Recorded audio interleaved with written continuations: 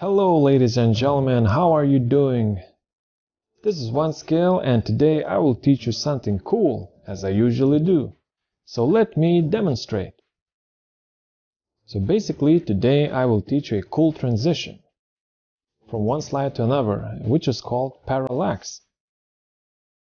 And if you don't know what is parallax, I will gladly demonstrate to you. On the internet nowadays there are many websites who use this nice effect. So just look at this photo and look what happens when I scroll the mouse wheel. As you can see the photo stays fixed in place while the rest of the website content is scrolling and covering the photo. How cool is that? I think it's really cool. And this is just one of the many parallax examples. For example, on this website, just look what happens when I scroll. As you can see, the photo is not staying in place as in the previous example, but it actually it goes up and down at a slower pace together with the uh, website content. So it really gives that 3D effect. And I think it looks really cool and we will try to recreate this effect together in PowerPoint.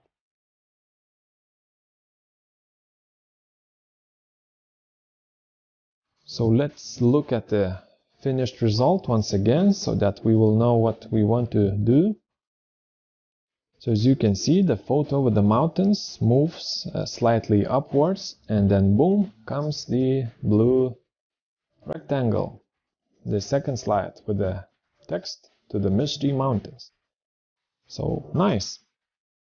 Let's select all of the objects and delete them so that we can start from scratch.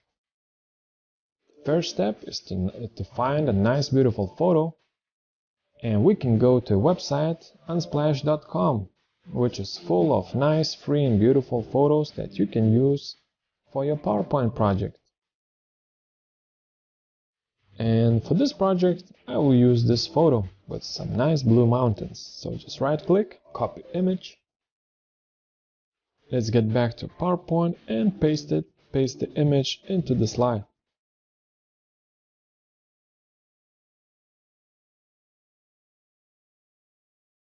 It might take a couple of seconds, hopefully not minutes, because photo is pretty large. But I'm sure we will get this photo sometime in the future.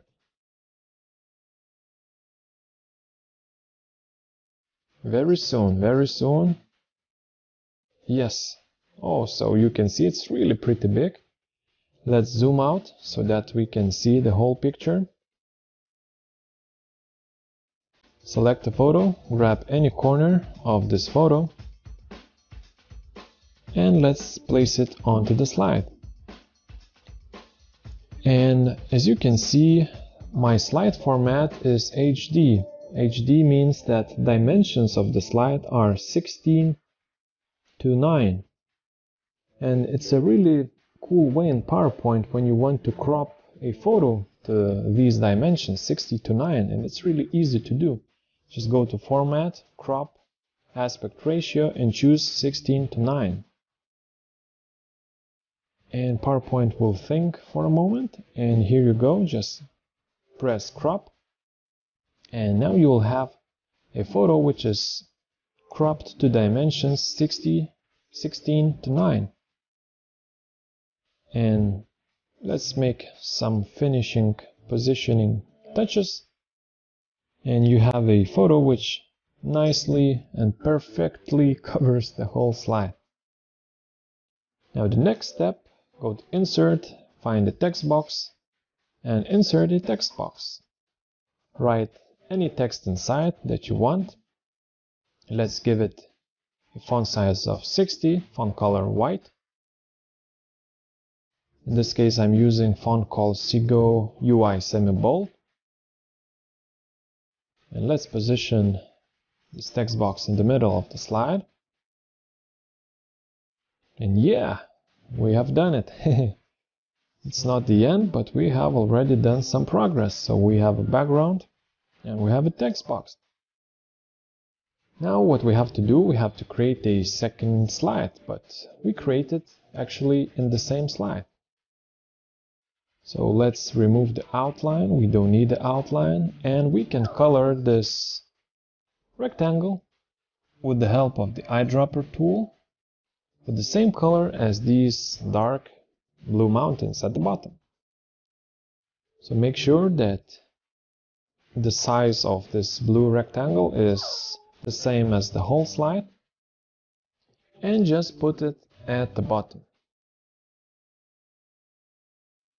Okay, now what we have to do, we have to select three objects.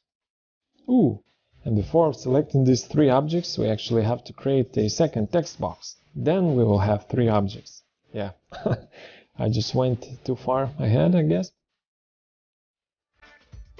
And let's write something in the second text box like to the Misty Mountain. It will be like continuation to welcome to the Misty Mountains. Okay, now let's select the three objects. So three objects will be two text boxes and the blue rectangle at the bottom. Uh, you can select the objects, multiple objects, by holding down the Shift key and clicking on all of them. And after you have selected all of them, go to Group and group them all together so that we have one nice group. And it will be easier for us to apply animations. What we have to do now, we have to add a motion path which is called up. So find that motion path and select it. And now you can click on this red bubble and you can uh, select or you know set where you want your animation to finish. And make sure that you uh, hold down the shift key when you are adjusting this motion path because holding down the shift key will give you a straight nice path. Make sure that this blue rectangle fully covers the photo because we want uh, the slide which will come from the bottom to fully cover, cover the photo. Okay. So let's check out what we have done so far. Go to animation and press play. So cool. We can check it out on the full screen. So after I click, we have this stuff happening. So it's pretty cool on itself already. But what we want to do additionally, we want to add animation to the photo so that the photo is moving upwards slightly as well so that we get the parallax effect that we're looking for. And to do that, we eh, have to add animation to the photo. An easy way to, uh, to add animation to the photo is that we can already copy the animation from the blue rectangle and just paste it to the photo. So just select the blue rectangle and click Animation Painter and just click on the photo. And you'll have the animation pasted to the photo. Just make sure that animation starts with previous so that everything, all the animation starts at the same time. Another useful thing in PowerPoint is that you can hide objects that you don't need. For example, you have many objects on the slide and everything looks very cluttered and you just want to see one object. So there's a useful tool that you with, uh, with which you can hide the objects. Just go to Home, select, Selection pane, in this case, I want to hide all of the objects, object, objects except the photo. Okay, so now we can easily uh, manipulate this motion path. As you can see, we have pasted the motion path and it's a little bit too long for this photo. We actually want the photo to go upwards just uh, slightly let's say half of the slide. So let's reduce this motion path to something like this. Okay, let's set back the visibility back so that we can see all of the objects and let's check out what we have done so far. So as you can see, the photo with the mountains is slightly moving upwards and we have created this parallax effect. So congratulations, dear watcher, dear YouTube fan. Okay. And I have uh, created another presentation. I was just testing some things out and I think I'll show it to you because maybe you'll get some more ideas or some inspiration for your own projects. So this is parallax effect in action as well. Just added some random text and a few photos just to see how it might look like with the parallax. So I think it's pretty cool as well.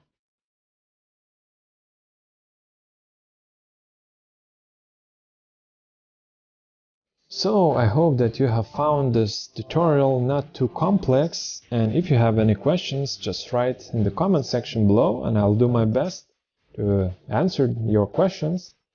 And please like, comment and share. And I wish you all of the best in your future PowerPoint projects. Good luck and see you on my next video.